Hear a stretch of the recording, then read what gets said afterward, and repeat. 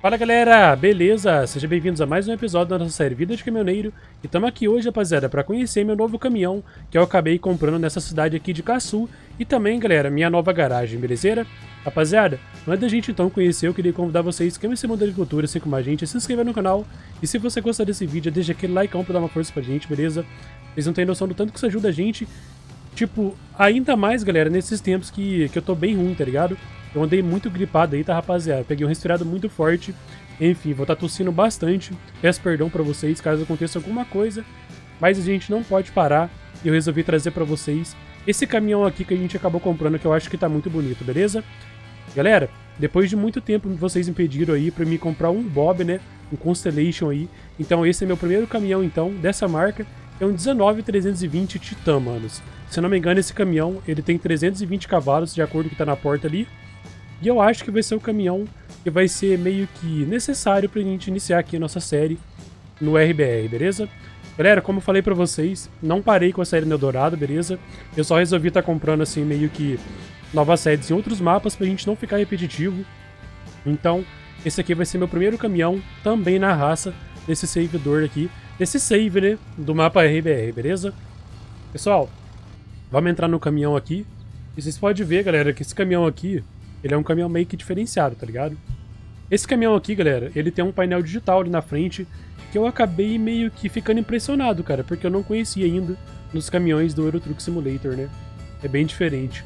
Comente aí se você já viu, mas é aquele painel vermelho, galera, que tem tipo um... Ele tem meio que um projetor, tá, galera? Um holograma que projeta as estatísticas aí do caminhão, que é o combustível, velocidade, tá ligado? As coisas que ele tem. Então eu tô louquinho pra conhecer isso aí, como é que ele funciona real e comente aí, galera, o que, vocês acharam do meu novo caminhão, belezeira? Vou abrir aqui então a lateral dele e vamos pegar a primeira carga dele ali pra gente já conseguir dar um rolezinho nele e ter uma experiência de como que vai ser andando nesse caminhão, belezeira? Mais uma vez peço perdão pra vocês pela tosse, tá galera? Eu tô bem ruim, mas eu tô aqui firme e forte tentando trazer pra vocês um conteúdo pra não deixar o canal parar, belezeira? Dá um desconto, espero que eu não tenha que cortar muito esse vídeo. E simbora, rapaziada, bora curtir mais um vídeo aí a nossa série Vida de Caminhoneiro, que está se expandindo aqui então pro mapa RBR e também os outros mapas, beleza, galera? Acho que agora vai ficar top porque a gente não vai ficar repetitivo nas mesmas coisas.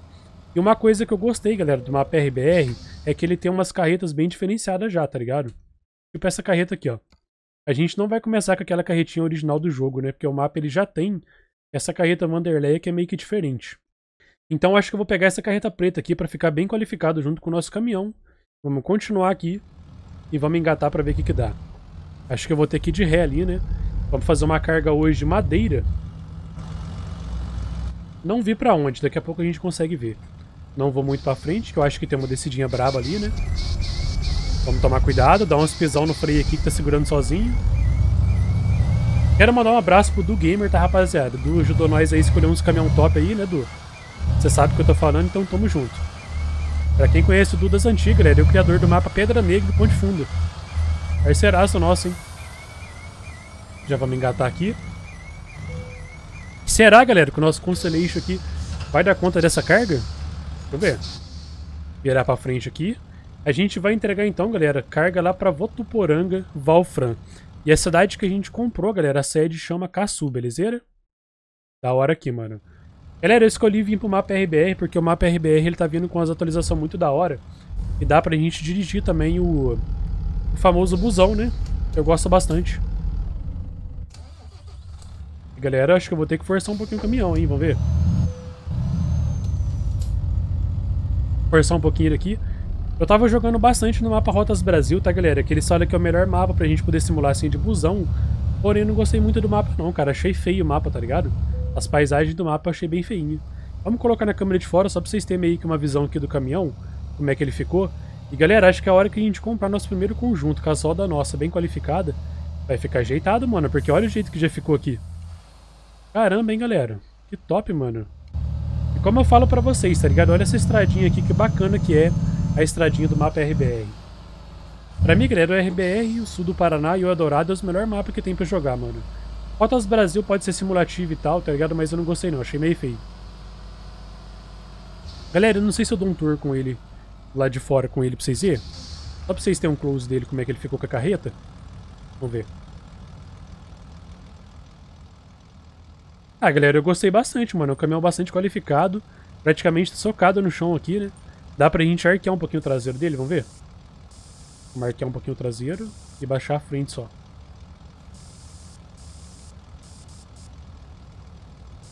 É, não pode deixar ele dentro do chão também, né? Assim ficou top. E, cara, essas cargas do mapa RBR é bastante legal, né, mano? Como eu falei pra vocês, se não fosse ela, a gente estaria aqui com uma carga original, né? Pessoal, então esse foi meu primeiro caminhão, então. Vamos acelerar aqui, vamos dirigir, vamos ver o que, que esse caminhão aqui é capaz. Vamos ver se ele vai ser capaz, na real, de satisfazer a gente assim nessas viagens, né? De começo. Barulho dele tá bem... Não sei, galera, tá diferente, né? Tá tendo um chiado de turbina bem forte aqui. Parece trabalhando a rotação bem alta também. Cara, gostei desse projetor, hein, rapaziada. Bem diferente, manos. Vou ver se tem outras cores, tá ligado? Apesar que o vermelho, ele combinou com o caminhão. Vou fechar o vidro aqui pra ver como é que fica.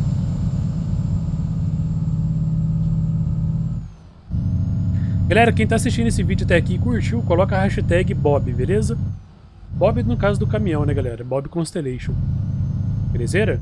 Como eu falo pra vocês, coloca um Zé Marmita passa fome aí pra vocês curtir e se embora nessa viagem com nós, que eu acho que vai ser bacana, beleza? Eu não posso escutar música, mas vocês podem, então coloca aí que tá top. E eu acho que esse caminhão vai ser bastante bacana assim, tá, galera? Acho que ele vai dar conta de serviço, assim. Cara, a gente não vai tacar um bitrem no Bobzão, né, rapaziada? Ou eu acho, né? Será? Pelo menos por enquanto, não. Meter marcha no bruto aqui. Tomar cuidado, né, rapaziada? Tentar simular daquele jeito e se embora. Daqui a pouco eu coloco na câmera de fora que eu sei que vocês curtem um pouco. E simbora curtir. Tenho que mostrar pra vocês também, galera, meu novo FH que eu comprei lá no mapa dourado, beleza? Meu FH topzera lá, especial é bom, tá ligado? E um Zebock novo que eu comprei lá, manos. Acabei esquecendo de mostrar pra vocês. Resolvi trazer esse aqui na frente, galera, porque eu achei bem, bastante qualificado. E tinha uma galera me pedindo Constellation, né? Eu achei um caminhão bastante bacana. Vê o farol alto dele?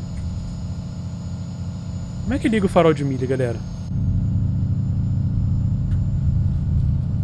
Não sei como é que liga, eu acho que é só no F4. Depois a gente dá um jeito.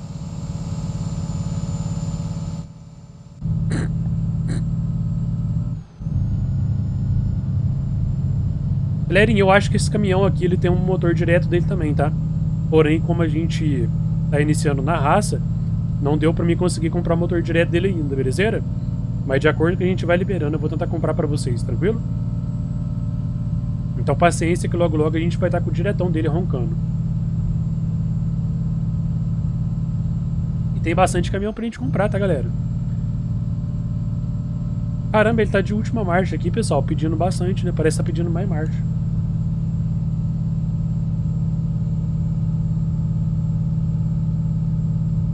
Qual que é essa informação que dá pra trocar lá, galera? Ó, dá pra trocar no consumo, né? Que é 1.8, 1.6 mais ou menos quilômetros por litro. É a média embaixo. O tanque dele, né? Ver se a gente consegue cortar a Polícia Rodoviária Federal. Não estamos correndo muito, então acho que não vai ter perigo, não. Baixa contínua, né, galera? Acho que era pra mim ter tomado uma multa zona aqui. Mas os caras tá de boa hoje, então não deu nada. Galera, eu queria informação da velocidade digital dele, mas acho que não tem não.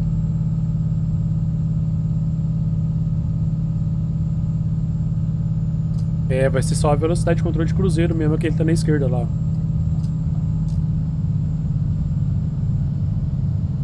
Mas topzera, cara. Bastante diferenciado, galera. Gostei, mano. Caminhãozinho diferente aí, né? Do que a gente não costuma... Meio que diferente do que a gente costuma trazer bastante da hora, né? Só parece que eu tô 100% acelerado com ele, mano. Tipo, andando aceleradão, né? A rotação mais alta, comente embaixo, mas acho que o Bobzão deve ser esse mesmo.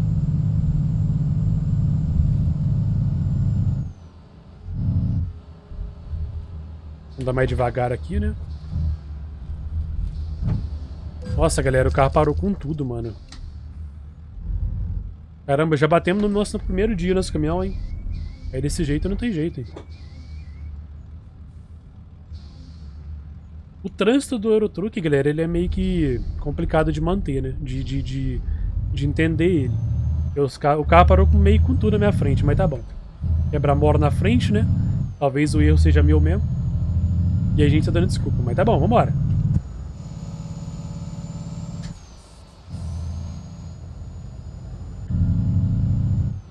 Vamos passar no quebra-mola, câmera de fora pra me ver? Cara, o ruim, galera, que tá é meu freio segurando bastante. Vocês estão vendo que tá sonando bastante o freio? Isso aqui é o freio do meu pedal do G29. E freia sozinho, mas... Logo, logo eu tento dar um jeito nisso, né? Cara, eu tô me sentindo, galera, andando com uma transmissão muito reduzida, velho.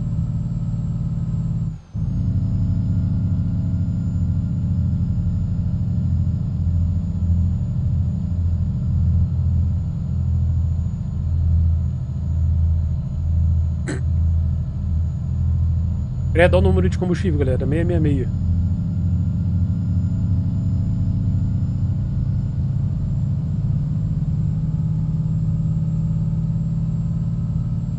Engraçado que não gasta, hein, lá.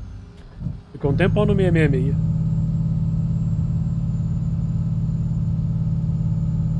Agora foi. Rapaziada, olha que completinho que esse caminhão tem, mano. Ele tem um rádio normal, tacógrafo.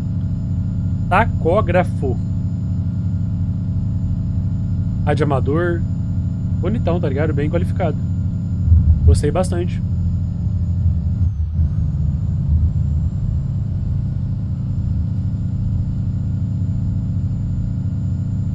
Tomar aqui a 55 km por hora. Caramba, manos.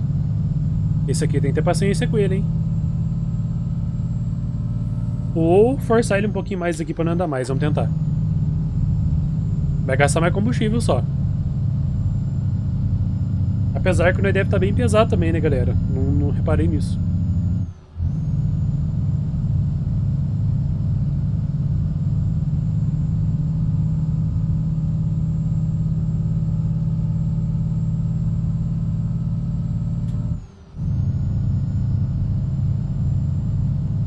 Pessoal, se eu gostar desses caminhões, eu meio que vou comprar, acho que o som original dele. Do Rafa Sondes, né? Pra quem não conhece, galera, o Rafa, ele é um cara que ele tira o som do veículo original na vida real e coloca no jogo, tá ligado? Então se a gente ficar bastante com esses caminhões aqui, muito é possível que eu vou fazer isso. Vai ficar legal.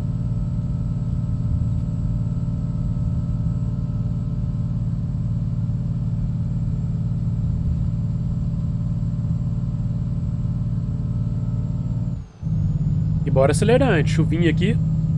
Cara, eu quero trocar, galera, a cor daquele display ali pra ver se ele muda alguma coisa, manos. Pra ver se muda só a cor, que eu vi que tem cor lá.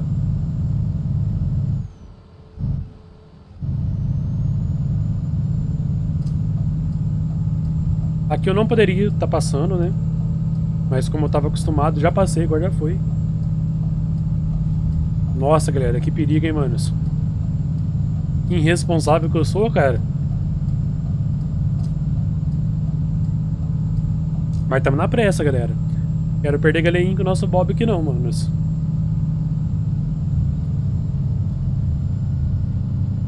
Pessoal, paciência, tá? Logo logo a gente troca o motor dele, que eu sei que tem uma galera aí que gosta que a gente anda um pouco mais ligeirão. Logo logo a gente troca o motor dele.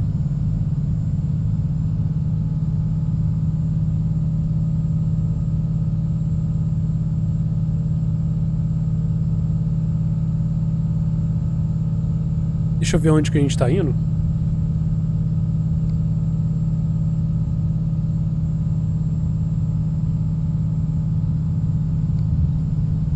Estamos chegando aí, tá? Já, já, tá, rapaziada. Tá quase, hein? Topzera.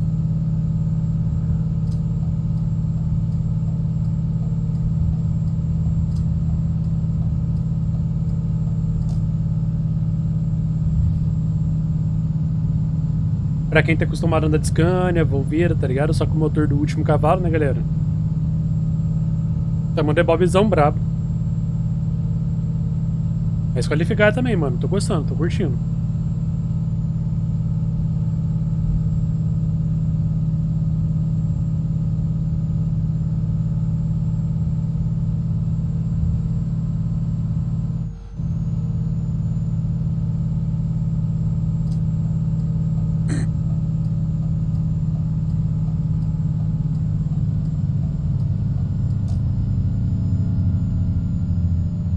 Bom é que é assim, galera. A gente anda um pouco mais no limite de velocidade, né?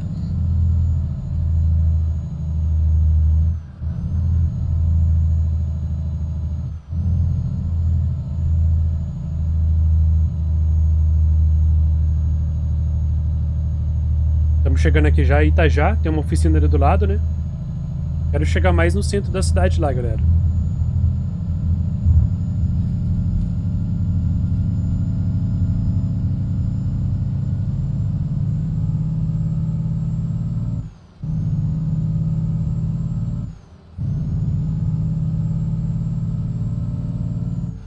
Agora descida, todo santo ajuda, né? E cara, vocês podem ver que ele é bem reduzidinho mesmo, tá galera? A marcha dele é bem reduzido. Tipo, a 90 por hora ali, ele já meio que... Deu final de, de, de marcha, né?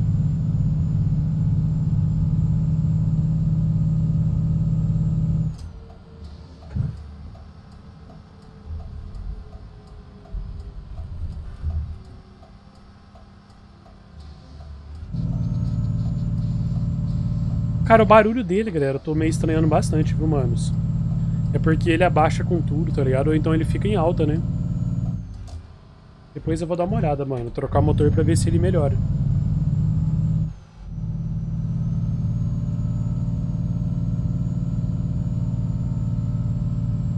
Parar naquele posto ali, né, rapaziada? Pra dar aquele check-up.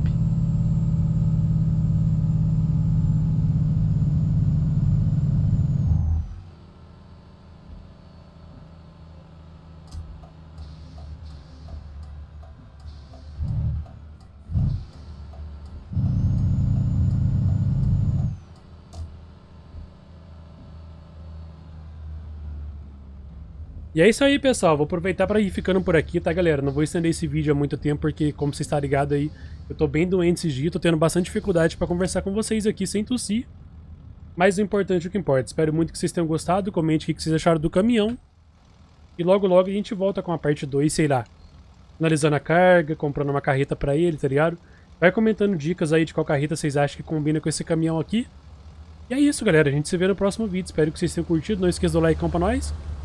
E a gente se vê depois. Rapaziada, mais uma vez, perdão por por estar tá fazendo esse vídeo desse jeito, tá ligado? Com a voz desse jeito, mas se não trazer, fica sem canal. Fica sem vídeo no canal, na real, né? Então tamo junto, galera. Abração e falou!